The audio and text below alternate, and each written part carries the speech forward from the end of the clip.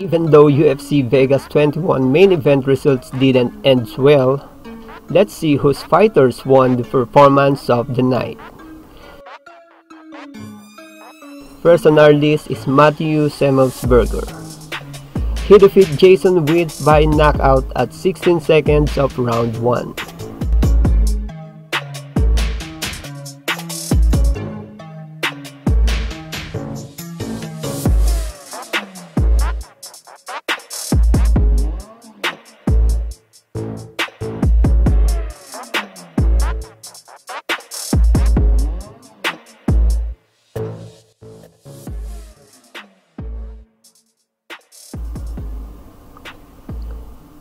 Davy Grant defeated Jonathan Martinez by knockout at 3 minutes and 3 seconds of round 2.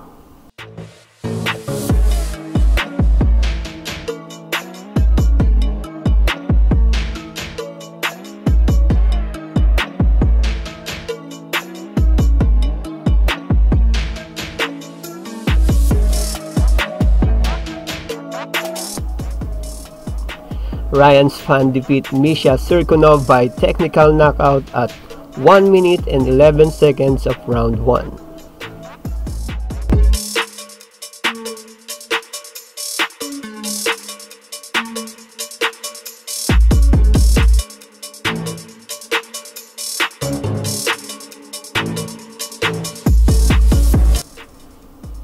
Dan Ige defeat Gavin Tucker by knockout at 22 seconds of round 1.